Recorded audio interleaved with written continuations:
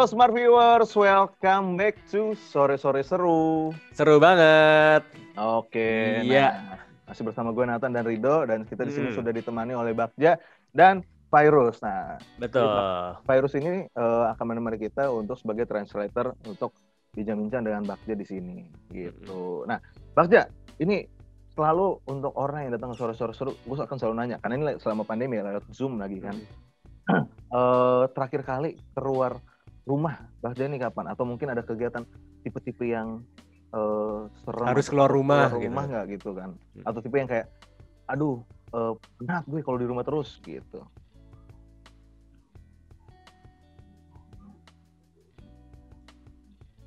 Kalau untuk aku pribadi terakhir ketika keluar rumah itu kira-kira mungkin sekitar satu atau dua minggu yang lalu.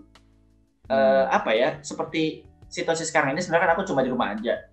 Hmm. Tapi kadang memang aku pikir eh, zona sekarang ini apalagi di Jakarta kan masih wilayah merah dan mamaku sendiri juga punya penyakit bawaan. Jadi aku khawatirnya ketika aku keluar rumah aku malah menjadi pembawa penyakit tersebut. Dan sekitar dua minggu lalu sih aku sempat keluar rumah. Oke, Iya, paham, paham. benar. Ya kalau bisa juga selama ini belum belum keluar keluar rumah dulu lah ya kalau nggak harus harus banget gitu. Mm-mm. Karena menjaga kesehatan kita dan keluarga kita juga. Betul, setuju. Mm-mm. Nah, itu selalu yang eh, pengen kita tekankan di program ini juga ya. Jadi makanya untuk narasumber-narasumber kita juga memang belum bisa semuanya untuk datang ke studio gitu. Mm-mm. Nah, ini kita mau ngobrol-ngobrol lagi dengan Mas Bagja. Mas Bagja, ini kan ada eh, namanya komunitas eh, teman tuli gitu kan. Nah, ini buat Mas Bagja sendiri sebenarnya ceritanya itu sebagai salah satu pendirinya pen- yang eh, komunitasnya atau memang ber- bergabung di tengah jalan? Gambarku freeze kayak mas ya? Aman, aman, aman, Aman kok aman. aman. Oke. Tadi baca sebutnya. Gitu. Kira-kira pendiri, eh, salah satu pendirinya atau memang bergabung di tengah jalan gitu? Mm-mm. aku kan bercerita sedikit pengalaman aku pribadi sebagai pengalaman awal karena sejak aku lahir dulu ketika aku masih kecil sebetulnya aku tuli tapi hanya setengah saja atau istilahnya HOH atau Heart of Hearing. Itu merupakan kepanjangan dari HOH dan itu merupakan sebuah istilah di mana sebagian telinga kita tuli dan sebagian lagi mungkin bisa mendengar tapi hanya sedikit. Dan seiring berjalannya waktu kemudian saat aku masuk sekolah umum di sekolah umum tersebut eh, hingga aku kuliah dan mungkin sekitar 2016 yang lalu 2016 yang lalu itu tiba-tiba kedua telingaku kehilangan pendengaran semuanya sehingga aku menjadi tuli total. Nah ketika dua pendengaranku hilang aku memang merasa khawatir karena aku pernah saat itu berpikir eh, untuk bunuh diri saja. Kenapa? Karena merasa depresi dan sangat tertekan. Karena dua pendengarku benar-benar hilang. Mungkin bisa sedikit tapi lama-lama kemudian hilang. Dan aku merasa seperti benar-benar kehilangan semuanya.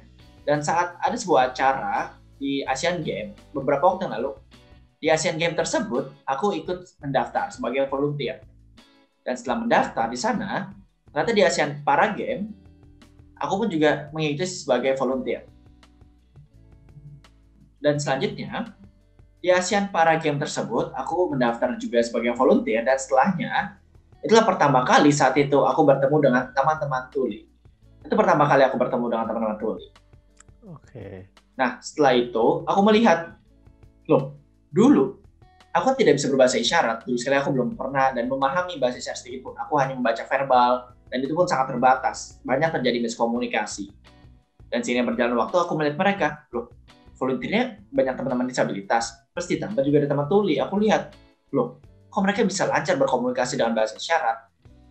Dan aku sendiri, aku seorang tuli. Dia juga tuli. Kita sama-sama tuli tapi kenapa aku nggak bisa bahasa isyarat ya sementara dia bisa kemudian aku coba interaksi dengan dia aku coba berbicara ngobrol pelan-pelan dengan tulisan. Dan aku dulu apa ya seperti ngerasa ya aku seperti orang normal. Sebenarnya aku mengidentifikasi diriku adalah ya aku bisa dengar lah aku tidak mau dibilang tuli aku tidak mau berbaik bahasa isyarat. Tapi di sini oh ternyata ini adalah bahasa yang seharusnya aku gunakan. Karena aku merasa seperti uh, pulang kampung ibaratnya mungkin seperti orang pulang kampung ya karena sebetulnya inilah bahasa asli yang saya bisa aku gunakan. Inilah dunia aku sebetulnya aku interaksi di sana aku pun minta tolong untuk diajarkan sehingga aku bisa lebih paham. Kalau untuk bahasa orang awam mungkin seperti apa ya? Eh, ibaratnya mungkin kalau kalian mualaf ya berpindah agama kemudian masuk ke dunia yang baru itulah seperti rasanya aku pertama kali masuk dunia tuli. Ya memang istilahnya terminologinya agak-agak gimana gitu tapi memang ini yang aku rasakan. Saat aku interaksi sama mereka banyak sekali komunitas-komunitas yang aku kenal dan luar biasa sekali dan saat itulah aku muncul dan berpikir dan memiliki sebuah ide oh ternyata ada sebuah masalah di sini masalahnya adalah sebetulnya saya suka nonton film aku suka nonton film dan film Indonesia tentunya tidak ada teksnya. Hmm. Dan film Indonesia kan tidak ada subtitle maupun teksnya, dan sehingga rasanya tidak bisa dinikmati. Artinya apa? Biasanya pemerintah selalu apa ya menuntut kita untuk mencintai film Indonesia, produk lokal, tapi tentunya melupakan kelompok disabilitas. Ada kelompok tuli di sana tidak bisa menikmati. Kemudian di sana aku membangun sebuah komunitas baru. Namanya adalah dulu dulu namanya adalah Taipis bergerak Indonesia dan si komunitas itu tujuannya adalah untuk mengadvokasikan ke seluruh film-film Indonesia bahwa mereka wajib menggunakan sebuah teks atau subtitle.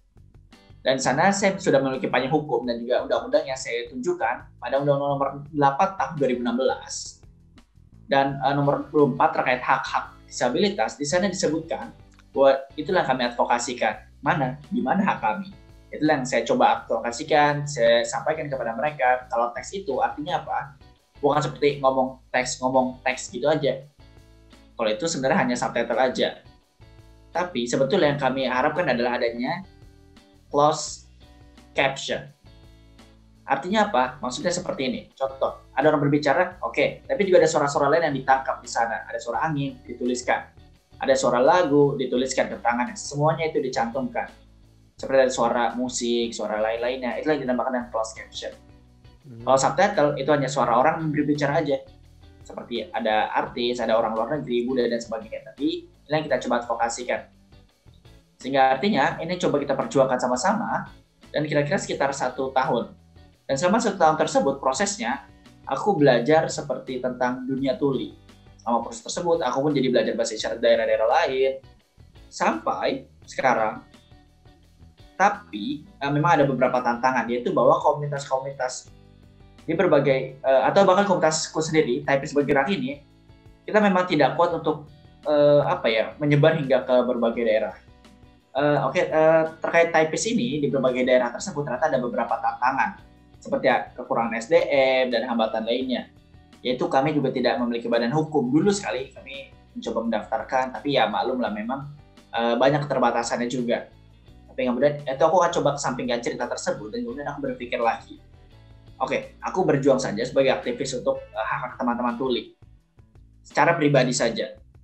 Seperti ketika ada pembicara, menjadi seminar, melatih bahasa isyarat dan lainnya. Itu sebetulnya sudah bagian dari advokasi hak-hak tuli.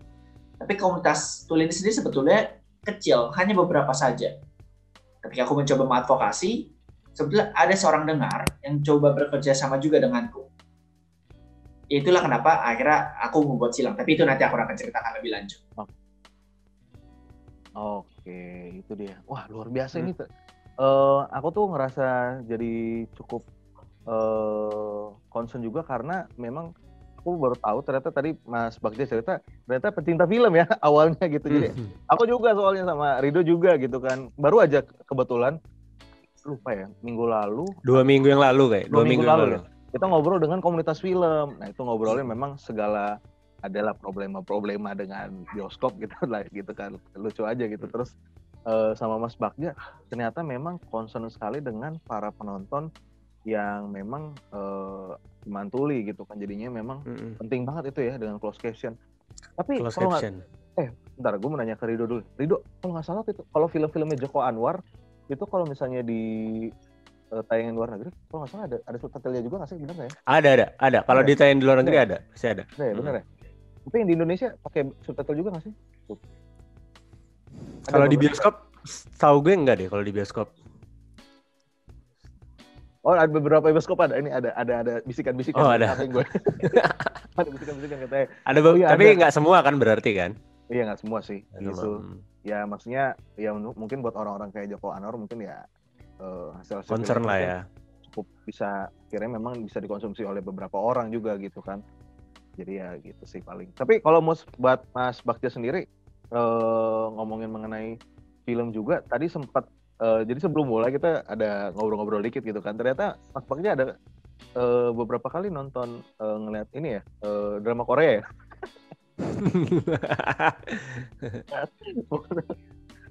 yang Ya aku nontonnya di Netflix sih kebanyakan di sana. Jadi ngeliat aja lah. Bisa tinggal menggunakan subtitle.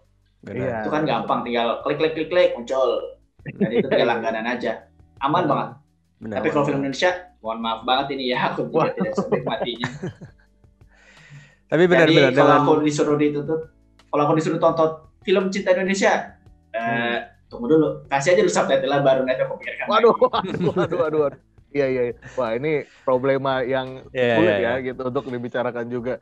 Nah, ini mau ngobrol-ngobrol lagi nih eh, mengenai komunitas. eh, tadi kan udah sempat dibahas, oh eh, mengenai komunitasnya nih. Untuk komunitasnya sendiri berarti sekarang masih nama, dengan nama yang sama nggak sih Mas Bagja? Eh, enggak enggak. Kalau untuk itu sendiri sebetulnya untuk typist bergerak sudah kita tutup saja. Oh, Kita udah sudah ditutup ya? tidak aktif lagi kalau untuk typist bergerak. Hmm. Eh, karena sekarang aku coba stop kegiatan tersebut karena dulu sekali itu pun bersinggungan dengan skripsiku karena aku harus aktif juga di skripsiku menyelesaikan sekarang sudah lulus dan ketika sudah lulus tersebut aku coba mulai berdiskusi lagi mengadakan FGD, mengadvokasi di beberapa tempat. Kemudian lah saat itulah muncul ada seorang dengar ini tadi mengajakku bekerja sama untuk membangun silang. Oh, Setelah bangun silang itu nantilah ceritakan lagi di silang. hmm. Oke. Oke, kita mungkin bisa cerita itu nanti. Siap, siap, siap. Hmm. Tapi mau nanyain dulu yang silang nih. Tadi Rido ada mau nanya mengenai silang dulu secara singkat nih katanya. Iya, jadi sebenarnya kalau kita bahas sedikit kali ya di di segmen ini ya silang ya. Jadi silang ini sebenarnya uh, tadi kan cerita uh, Bagja bahwa silang ini diajak oleh temannya untuk membangun silang ini. Nah, emang dari dari kapan itu untuk berdirinya sendiri komunitas silang? Oke, sebetulnya untuk idenya sendiri, silang, sebenarnya kata silang ini sebetulnya berasal dari eh, pada tahun 2017 sebetulnya saya sudah terpikirkan. Oke. Tapi memang itu masih komunitas dulu, belum ada nama silang, belum ada. Belum ada jadi nama silang dan sebagainya belum ada. Hanya sekedar eh, ide saja. Kemudian ada pa- pada tahun 2019 kalau tidak salah, 2019 ini baru banget, kita masih baru banget. Kemudian eh, ada temanku bercerita terkait masalah-masalah tuli, ada hambatannya, dan juga terkait bahasa isyarat, ketiadaan akses, dan lain-lain. Kemudian saat itu aku berpikir, oke, aku punya sebuah inovasi. Nah, inovasinya tentang bagaimana kalau kita bekerja sama. Kita sama-sama, kita berjuang bersama-sama, kita membangun silang. Itulah asal muasal pada tahun ide pertama hingga didirikannya diajak teman-teman. Oh, oke. Memang masih baru sih, masih baru ketika aku mengajak dengan teman-temanku yang lain. Oke. Tapi mungkin eh, s- saya mau nanya dikit ya. Kalau misalkan eh, kita, maksudnya secara eh, bukan teman tuli, untuk mau belajar bahasa isyarat, apakah bisa di komunitas silang atau mungkin ada alternatif lain? Oke, eh, sebetulnya untuk kelas bahasa isyarat ini sendiri sebetulnya ada banyak. Hmm. Tapi memang masalahnya apa? Yang pertama terkait SDM gurunya. Untuk guru tuli ini sendiri bahkan sedikit yang memahami literasi ini. Bukan berarti orang dengar ngajarin ya, kita tidak membolehkan orang dengar mengajar bahasa isyarat. Itu beda lagi nanti berkaitan dengan cultural appropriate. Karena itu berkaitan juga dengan etika dan eh, pada komunitas budaya tuli, kita juga punya eh, bahasa di mana native speaker lah yang mengajarkan di sana. Jadi guru tuli lah yang mengajarkan itu pertama. Dan yang kedua, secara global sebenarnya atau secara umum banyak sekali yang mendaftar. Tapi ketika kelas itu penuh, maka tutup. Selesai. Ada yang keterbatasan kelas. Dan yang ketiga, banyak sekali di daerah-daerah kelas bahasa isyarat itu sangat sedikit. Sehingga kadang biasanya satu kelas itu membuka hanya satu. Satu daerah hanya buka satu kelas saja. Dan masalahnya apa? Banyak sekali yang tertarik. Sehingga akhirnya Iya, kita memunculkan silang. Melalui apa? Kita membuka kelas melalui Zoom dengan memanfaatkan teknologi. Oke, eh, mungkin ber- eh berarti bisa ya di komunitas silang untuk join ya, untuk kelas eh, apa namanya bahasa isyarat. Bisa, bisa, bisa banget. Oke. Mm. Bisa banget. Bisa. Oke, eh, mungkin Oh ya, eh, Ah, satu gimana? lagi untuk Oh, iya? tambahan, aku mencoba bukan promosi silang aja ya, tapi bukan Hmm. cuma promosi. Eh, bukan artinya ini komunitas sosial ya, ini udah menjadi sebuah lembaga juga betul. yang sudah didirikan oleh beberapa orang-orang untuk belajar bahasa isyarat melalui teknologi. Jadi kalau seandainya komunitas lain membuka kelas itu biasanya ketemu langsung. Hmm, hmm. Dan biasanya pun teman-teman tuli memang lebih nyaman bertemu langsung karena bisa melihat, melihat gerakan dengan sangat jelas. Tapi memang ada hambatan dengan ada internet di sini. Memang itu masih menjadi masalah kami. Kenapa? Karena saat itu di Indonesia pun apalagi sekarang belum punya apa ya sistem internet yang mungkin lebih cepat dan stabil.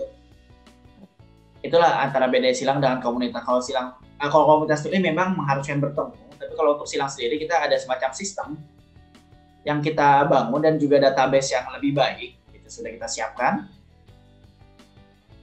dan juga kita juga sebenarnya cocok dengan orang yang sibuk ada punya pekerjaan lain tidak punya waktu untuk bertemu teman tuli itu yang kita coba provide Oke. Oke. Nah ini eh, udah banyak banget nih pengen udah udah kebayang nih mau nanya lebih dalam ya mengenai komunitasnya sama mengenai Hmm. startup silangnya. Nah tapi abis ini smart viewers karena ada yang mau lewat dulu. Abis ini kita akan lebih mendalam lagi. Kita mau nanya-nanya mengenai komunitasnya dulu nih dengan Bagja. Oke buat smart viewers yang penasaran jangan ke mana-mana. Tetap di sore sore seru. Seru banget.